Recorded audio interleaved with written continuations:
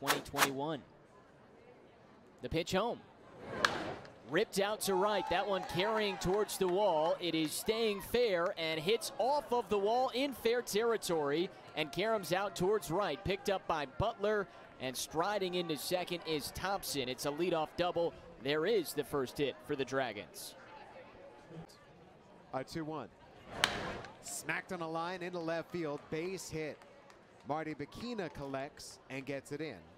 There's his first hit of the series, and it's an Oppo two out single. Kubo sets. 5 nothing nuts. The pitch. That is hit in the air to right center field, and there's a lot of grass out there. It falls, it goes all the way to the wall. De La Cruz sprints around to score. McGarry's on his way for third. A relay throw, one hops in late. It's an RBI triple. Is on the board. JV Martinez on the card. The pitch, hard hit at Angeles. Short hop down on his knees, knocks it down, but can't make the play clean. That'll be ruled a base hit.